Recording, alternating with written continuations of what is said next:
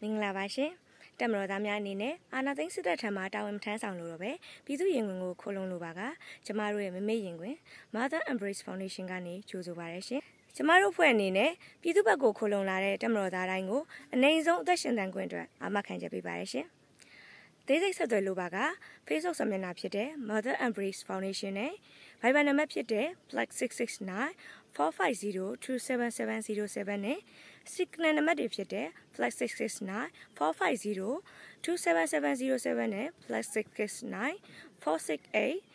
93570ကိုဆက်သွယ်နိုင်ပါတယ်ရှင်။ကျေးဇူးတင်ပါတယ်ရှင်။အလုတ်သမားခွင့်ရေးချိုးပေါက်ခံရမှုများရှိပါကအဆက်အသွယ်ပေးပို့နိုင်ပါသည်။